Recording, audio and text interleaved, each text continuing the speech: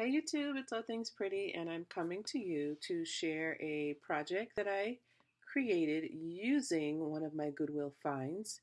So um, let's get right to it. So yesterday I shared with you um, these Kumon flashcards that I found at my Goodwill. Mm-hmm. They were $1.98 for this package, and I don't remember how many are in here, but I know that it's, it's a bunch of cards. It's a stack. If you had, didn't see my video, then this is what they look like.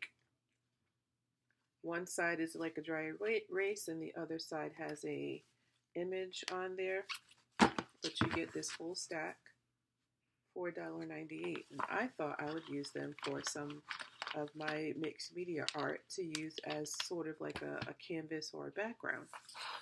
So, um, also, I bought a bunch of paints yesterday and chalk pastels, and I put all of that to use. So, I just wanted to come and share with you what I've created.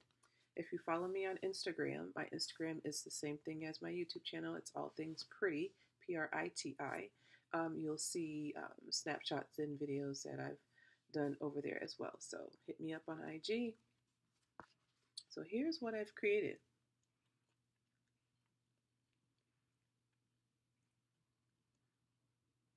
And hopefully you can get a good view of that. And it says, Thank God for his love. And I am really proud of her.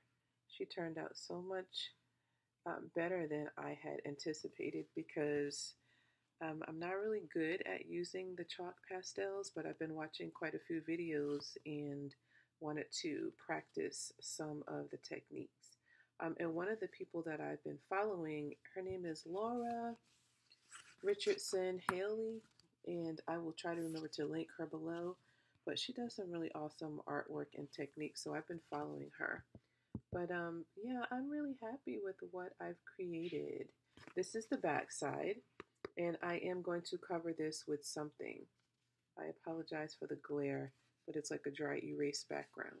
Um, I'm not sure what I'm going to put on the back of here, but I will cover this because this is nasty.